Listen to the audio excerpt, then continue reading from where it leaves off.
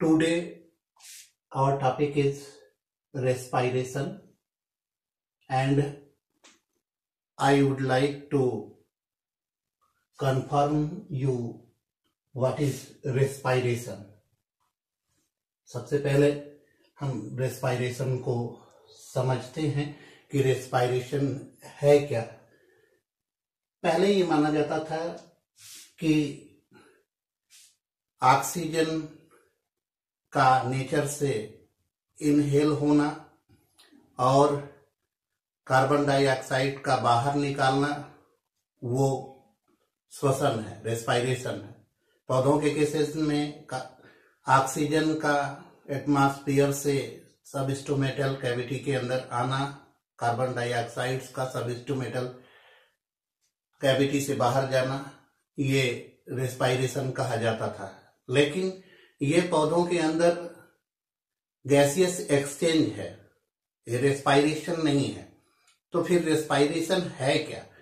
तो रेस्पायरेशन को अभी तक किसी मान्य परिभाषा के अंदर नहीं रखा गया है, लेकिन काम चलाऊ जो डिफिनीशन है, उसको हम ऐसे समझ सकते हैं कि respiration is a complex catalytic process in which complex food materials are broken down into simpler ones, energy emitted, is stored in the form of ATP and utilized in different metabolic activities as well as carbon dioxide emitted as a byproduct. दूसरे शब्दों में हम ये कह सकते हैं कि श्वसन एक जटिल आक्सीकारक प्रक्रिया है जिसमें कॉम्प्लेक्स फ़ूड मटेरियल्स सूक्ष्म मटेरियल्स के अंदर टूटते हैं। उनसे जो ऊर्जा अवमुक्त होती है, वो एटीपी के रूप में संचित हो जाती है, जिनका जीवधारी अपने विभिन्न तरह के जैविक क्रियाओं में इस्तेमाल करते हैं। इसको हम सामान्यतः जो है, इस तरह से डिनोट कर सकते हैं C six H twelve O6 plus 6O2 6 CO2 plus 6 H2O plus 673 kilo calorie energy. अब ये तो हो गया ये ग्लूकोज के ऊपर ऑक्सीजन जो है रिएक्ट किया। इसने इसको कंप्लीट ऑक्सीडेशन में कार्बन डाइऑक्साइड बनाया वाटर बनाया और उससे जो ऊर्जा निकली अत्यधिक मात्रा में, वो पौधे के विभिन्न जैविक क्रियाओं में इस्तेमाल हुई। अब हम बात करते हैं कि ये रेस्पायरेटरी सबस्टेट्स क्या है? जिसको अभी हमने जो है बात करी थी कि रेस्पायरेटरी सबस्टेट्स का ही ऑक्सीडेशन होता है तो रेस्पायरेटरी सबस्टेट्स हैं क्या? तो हम ये समझते हैं कि all those organic materials such as carbohydrates carbohydrates, fats protein which is use in respiration as a fuel is known as respiratory सस्टेट्स मतलब कि वो सभी रासायनिक पदार्थ, जैसे कि कार्बोहाइड्रेट फैट प्रोटीन जिनका रेस्पाइरेशन में ईंधन के रूप में इस्तेमाल होता है उनको हम रेस्पायरेटरी सबस्ट्रेट्स के रूप में जानते हैं। अब बात आती है कि ये रेस्पायरेशन कितने तरह का होता है। How many types of respiration occurs in nature तो इसको हम ऐसे समझते हैं कि अगर हम इसको रेस्पायरेटरी सबस्ट्रेट के आधार पे जो है विभाजित करें तो जो है ये दो तरह का होता है। एक को रेस्पायरेटरी सबस्ट्रेट रेस्पायरेटरी सबस्ट्रेट के आधार पे ये दो तरह का होता है। एक को हम कहते हैं floating floating respiration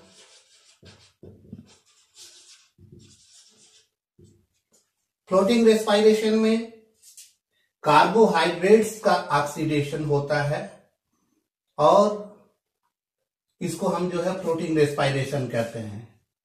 लेकिन जब कभी भी नेचर में जीवधारी के अंदर कार्बोहाइड्रेट्स की कमी हो जाती है, उस दौरान उसके अंदर जो फैट और प्रोटीन्स हैं, वो भी ऑक्सीडेशन में आ जाते हैं ऊर्जा प्रदान करने के लिए, तब उसको हम जो है प्रोटोप्लाज्मिक प्रोटोप्लाज्मिक रेस्पायरेशन के नाम से जो है जानते हैं।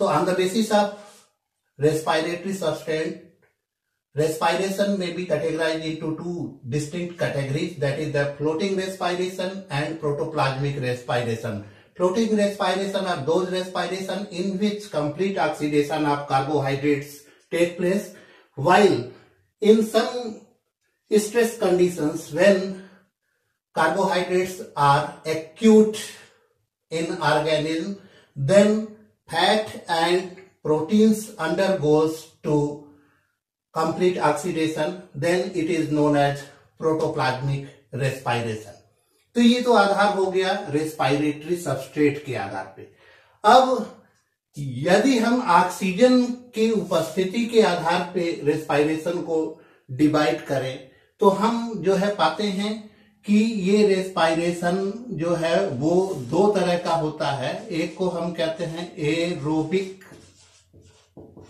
रेस्पायरेशन और दूसरे को कहते हैं an aerobic an aerobic respiration aerobic respiration वह श्वसन है जिसके अंदर रेस्पायरेटरी सबस्ट्रेट्स का कंप्लीट ऑक्सीडेशन होता है और ये ऑक्सीजन की उपस्थिति में होता है।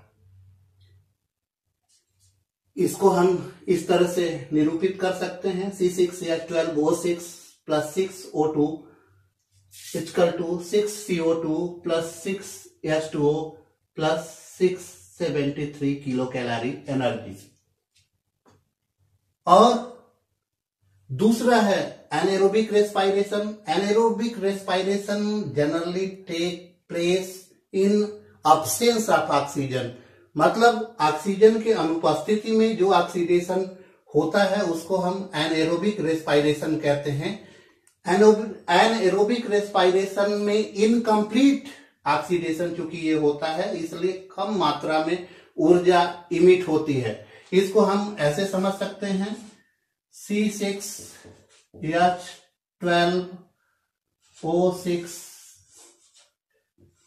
to C2H5 OH plus 2CO2 plus 56 calorie energy तो यहाँ पे एनेरोबिक रेस्पायरेशन में आप देख रहे हैं कि ये जो ग्लूकोज मॉलिक्यूल्स है, उसका इनकम्प्लीट ऑक्सीडेशन हो रहा है और वो एथेनॉल या लैक्टिक एसिड्स के अंदर कन्वर्ट होता है।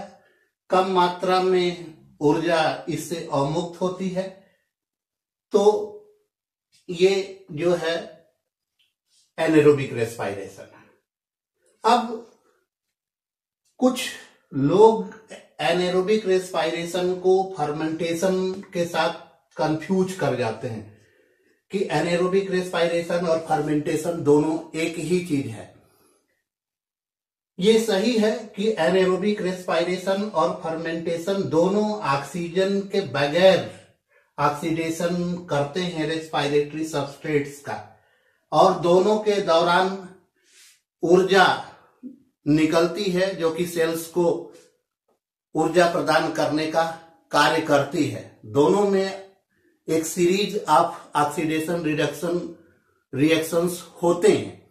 लेकिन एनएरोबिक रेस्पायरेशन सदैव वो सेलुलर होगा, सेल के अंदर होगा, लेकिन फर्मेंटेशन जो है वो एक्स्ट्रा सेलुलर इंजाइम्स के थ्रू आउटर मीडियम्स के अंदर भी हो सकता है। एनारोबिक रेस्पायरेशन आमतौर पे फंजाई जो है, कुछ शो करते हैं। फर्मेंटेशन कुछ बैक्टीरिया शो करके जो है, वो एथिल एल्कोहल का निर्माण करते हैं। इसको आप लोग जानते हैं कि सबसे पहले फर्मेंटेशन की प्रक्रिया को जो है लुइस पास्टर ने डिनोट किया था। तो ये कंफ्यूज नहीं करना है। एनेरोबिक रेस्पायरेशन वो और फर्मेंटेशन दोनों के बीच में अंतर यह है कि फर्मेंटेशन एक्स्ट्रा सेलुलर भी हो सकता है एक्स्ट्रा सेलुलर इंजाइम की मदद से, जबकि एनेरोबिक रेस्पायरेशन जो है हमेशा इंट्रा सेलुलर होगा सेल के अंदर ही होगा। अब हम एरोबिक रेस्पायरेशन की बात कर लेते हैं। एरोबिक रेस्पायरेशन में हमने आपको ये बताया कि इसमें कंप्लीट ऑक्सीडेशन होता है। तो जब कंप्लीट ऑक्सीडेशन होता है तो इसके लिए जो है चार विभिन्न स्टेप्स के अंदर ये कंप्लीट ऑक्सीडेशन होता है। पहला जो प्रोसेस होता है, इसको हम जो है कहते हैं ग्लाइकोलिसिस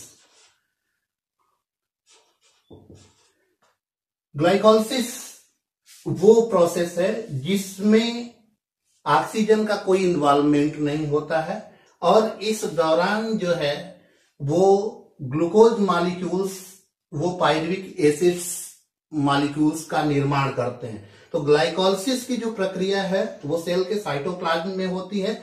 इसका ऑक्सीजेशन ऑक्सीजन की उपस्थिति या अनुपस्थिति से कोई लेना देना नहीं है। इसलिए इस जो ग्लाइकोलिसिस है, ये एरोबिक और एन एनएरोबिक में दोनों में कॉमन होती है।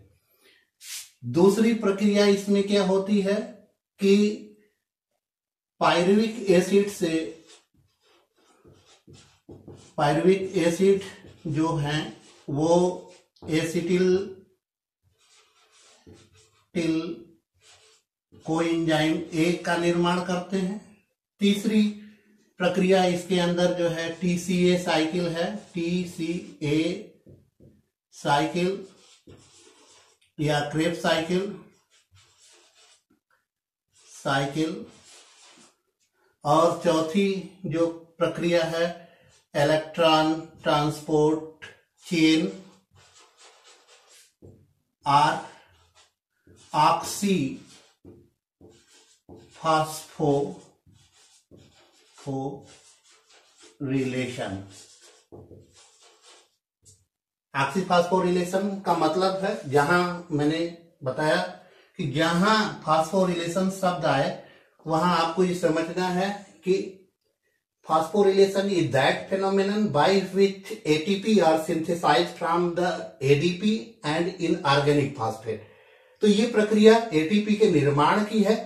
क्योंकि ये एटीपी वो रेस्पायरेशन के दौरान हो रहे हैं, इसलिए इसको हम जो है ऑक्सी फास्फोरिलेशन कहते हैं।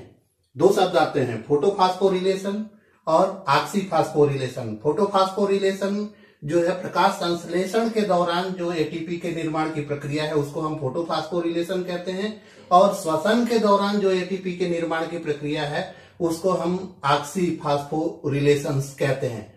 तो इन टॉपिक्स को हम अलग अलग अगले वीडियो के अंदर डिस्कस करेंगे।